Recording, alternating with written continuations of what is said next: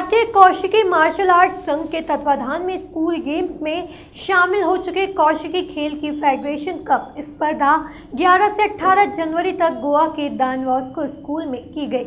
इस दौरान इंदौर की टीम ने जमकर दम दिखाया। गोवा में हुए आयोजन, जिसमें इंदौर की एलेक्ट एकेडमी के 26 खिलाड़ियों ने 12 स्वर्ण 8 रजत और 6 कांस्य पदक जीते।